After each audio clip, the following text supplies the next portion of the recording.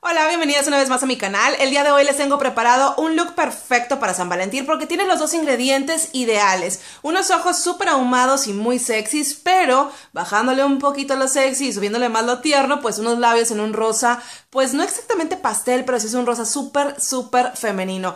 Todo este look fue creado con productos de la línea Chantería. Es la segunda vez que hago un video usando solamente una marca de productos y está súper padre porque así les puedo enseñar pues cómo funcionan. Ahí les voy comentando qué es lo que más me gusta y demás. Así es que si quieren ver exactamente cómo logré este look, quédense hasta el final de este video y no olviden comentar, suscribirse si aún no están suscritas y también darle like porque con sus likes ayudan muchísimo a mis videos. Ahora sí, vamos al tutorial. Puse cinta scotch que va eh, cruzando justamente por la línea de mis pestañas con primer color que voy a usar es este café más clarito que viene en el, eh, este se llama café cappuccino. Vienen dos cafés en este empaque. Y voy a usar, como les digo, el más clarito con una brochita para difuminar. lo voy a poner por toda la cuenca.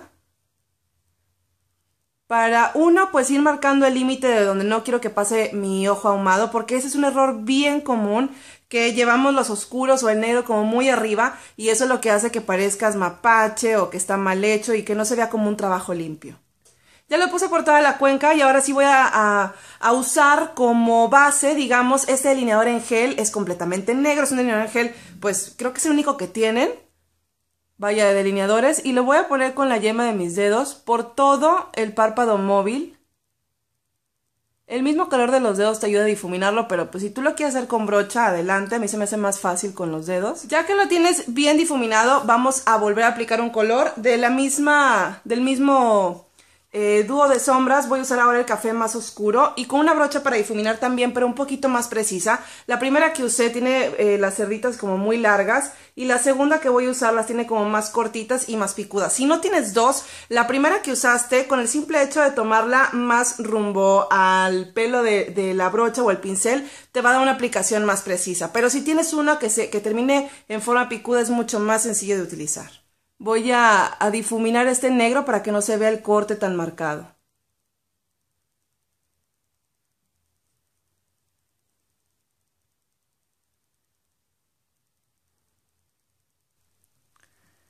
Habiendo difuminado ya súper bien, se fijaron que primero pusimos un café clarito, después un negro y entre ambos un café medio justamente para que formara ese degradado, degradado que buscamos con el ojo ahumado. Ahora, antes de continuar con un rosa, voy a primero iluminar la parte del hueso de la ceja y el interior del lagrimal. Voy a usar ese tono que, bueno, en, este, en estas sombras vienen tanto un mate, que es este de este lado, y este que es un color como tornasol, es un blanco con algo de dorado, y es justamente ese el que voy a usar porque tiene un acabado diferente si lo pones sobre la piel a si lo pones sobre alguna sombra. Miren, lo voy a aplicar primero abajo del huesito de la ceja.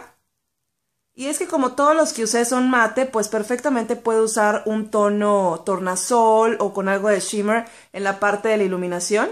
Aquí se ve bien marcado el corte, pero ahorita vamos a eliminar ese corte marcado. Voy a poner también en el lagrimal. Pero fíjense cómo cuando lo pongo arriba del color café y el negro, se torna un dorado como un poquito más oscuro, que pareciera casi como que es otra sombra. Ahora bien, voy a continuar con un rosa. El rosa que tengo yo aquí que voy a usar es justamente el rubor que voy a usar el día de hoy. El tono del rubor es rosa playa del Carmen y es un rosa con algo de brillo que es ese tipo de rubores como baby doll, así. Así es que voy a usar esta brocha para difuminar la primerita con un poquito de este rosa, nada más para darle algo de color, porque cuando el ojo ahumado, a mi gusto, es puro negro y gris o negro y café, siento como que le falta algo para que se vea más femenino o más lindo. Voy a sacudir la brocha y ahora sí, entre el café y el dorado voy a poner un poquito de este rosa, nada más para que le dé algo de vida a este look. Y aquí voy a hacer una pequeña corrección porque el dorado lo llevé muy adentro. Ahora me voy a ir con el negro para darle el toque final. Voy a usar de este dúo, uno es negro mate y el otro es negro cocobongo. El negro cocobongo, que tiene un poquito de brillo, es este de este lado. Tiene un poquito de brillo y es el que voy a usar para cubrir toda la zona negra donde apliqué el delineador en gel. Una para que no se mueva y dos para que le dé ese look como muy sexy con puros toquecitos para que deposite bastante color.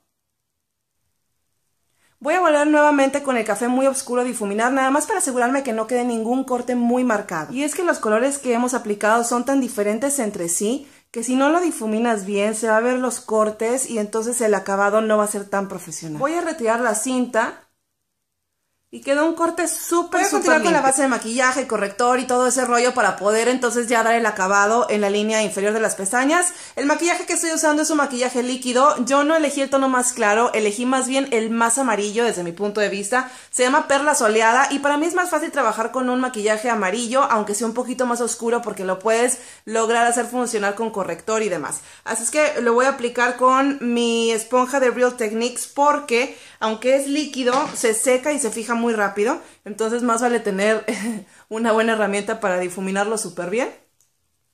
Y aunque es un maquillaje, como les digo, líquido, es muy cubriente, tiene una consistencia como de gel, así es que se fija súper bien. La cobertura yo diría que no es ligera, es, la puedes hacer ligera si la difuminas súper bien, pero es más bien tirándole a media, porque también la puedes hacer eh, mucho más cubriente si aplicas más producto en el mismo lugar. Tiene muy buen acabado y buena duración. Voy a continuar con el corrector. Estos tonos de corrector son canela tostada. El de este lado es canela tostada y este es naranja mediterráneo. Este tono naranja es muy bueno para la gente que tiene unas ojeras súper marcadas como para que lo apliquen antes del maquillaje para que les neutralice las ojeras. Y el otro, este de acá, me gustaría que hubiera un tono un poquito más claro porque a mí me gusta usar los correctores, al menos los de la zona de la ojera, más claros que mi tono de piel y de maquillaje para lograr un efecto como más de, del country highlighting, pero como quiera, vamos, o sea, me igualó el tono, pero sí preferiría que hubiera un tono más clarito para mí. Voy a sellar todo con polvo, voy a usar los polvos sueltos, pero si tú no quieres tanta cobertura, inclínate mejor por sus polvos compactos porque con esos puedes lograr una, una cobertura como más ligera. Yo voy a usar hoy los polvos sueltos. Y para no agarrar tanto producto voy a voltearlo, regresarlo y con lo que se haya pegado a la tapa es con lo que voy a, a sellar mi maquillaje y una brocha como con mucho, mucho pelo. Y voy a concentrar la aplicación en la zona T. Pero como quiera lo que sobre le voy a pasar por el resto. Antes de, continuar con el resto de los ojos me voy a emparejar las cejas porque tengo una lista y una que todavía no está lista. Voy a usar el tono café del principio, pero el más oscuro, el que usé al principio que se llama café habano y una brocha angular. Y antes de pintarla, como siempre, la voy a cepillar porque es mucho más fácil darle buena forma si ya está cepillada.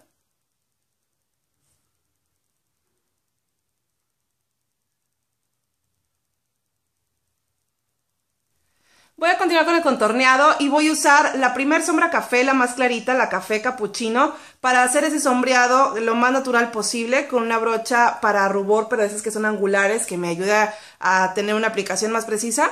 Y lo voy a poner abajito del pómulo, en este huequito que naturalmente tenemos, lo voy a acentuar para que se vea la cara más delgada. Para el rubor voy a usar el rosa que les había dicho, el rosa playa del Carmen, y lo voy a poner nada más un poquito en las manzanitas al reírme y como tiene algo de iluminador, pues se va a ver mucho más lindo.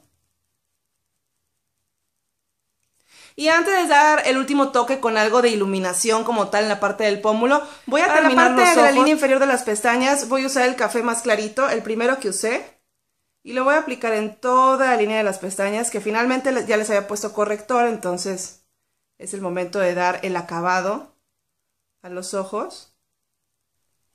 Con el negro nuevamente nada más de la mitad hacia afuera.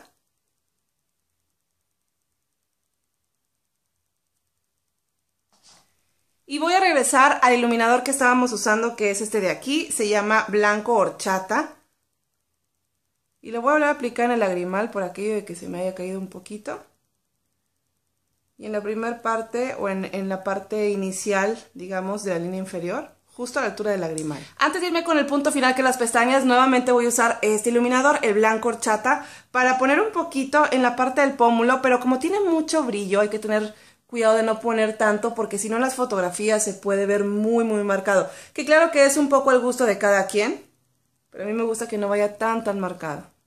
Un poquito más en el arco de cupido. Ya me enchiné las pestañas, estoy ya casi en el último paso. Bueno, no, el último va a ser los labios, que el color que elegí está precioso. Pero antes voy a enmarcar bien los ojos con mis pestañas. Si tú tienes tus pestañas muy cortitas, mira, yo aquí ya me pasé. Si tienes tus pestañas muy cortitas, puedes perfectamente aplicar unas pestañas postizas. La verdad es que con Smokey Eyes se ven súper padres las postizas, pero yo quería aprovechar el rímel porque la verdad es que miren, pueden ver que tiene, me deja las pestañas como muy espesas y largas. Así es que yo no voy a usar hoy pestañas postizas.